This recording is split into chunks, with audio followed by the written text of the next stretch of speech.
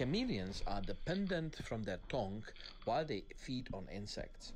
And there are some challenges in captivity which you would maybe not even expect. Chameleons have a very special strategy how to feed. Because in general they are quite slow, they have one muscle or a group of muscles in their body capable of tremendous speed. I speak about the muscles of the tongue. The tongue can project for a very long distance and its sticky end grasps the prey.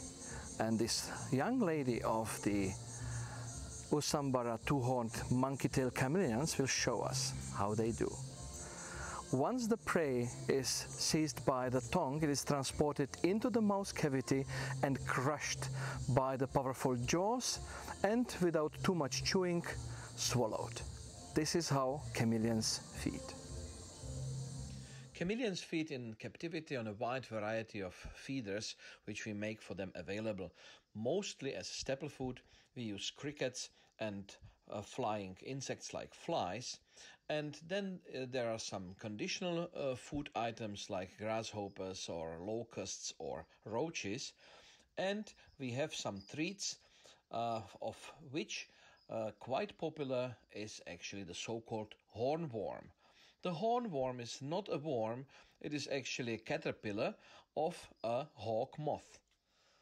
While the adults, the moths, are very nutritious and good source of food, the uh, hornworms or the caterpillars of them are a little bit problematic because they consist of more than 70% just of water.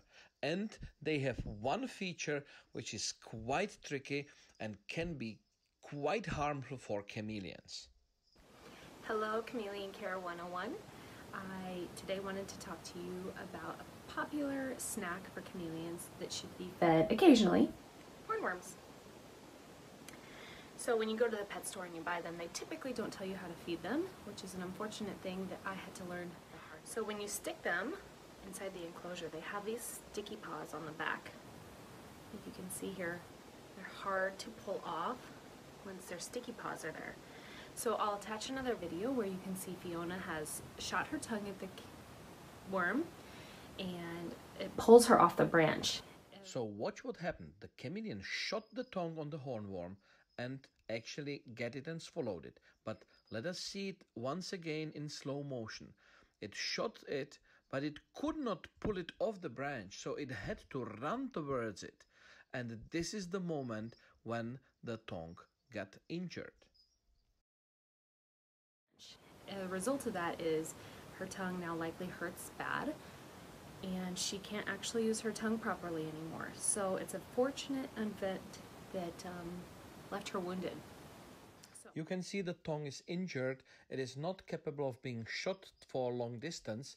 It is not controlled in length and direction. And the chameleon is actually forced to feed just grasping the prey with the jaws. In captivity, the same tongue injury can happen if you feed the chameleon holding the insect either in your fingers or in forceps, like many people do. In the wild, this would be a death sentence, while in captivity, we still can keep this chameleon alive while changing the feeding strategy. So, how do we feed these properly without injury? So now I've got a little Tupperware of um, calcium powder and my hornworm is inside. You see him in there? So I've let him walk around in it for a little bit and his little paws now are coated in dust. Um, so I'm going to give him a good shake in here.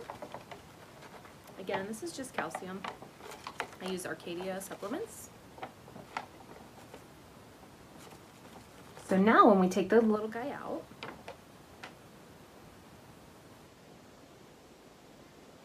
you can see his sticker pads are super coated in calcium.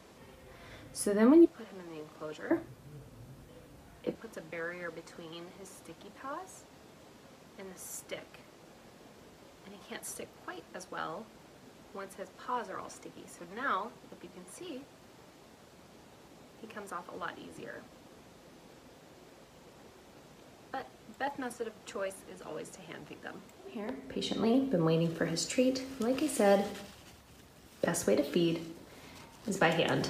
Oh, and watch out for the splash zone. So, be very careful once you feed uh, hornworms to your chameleon.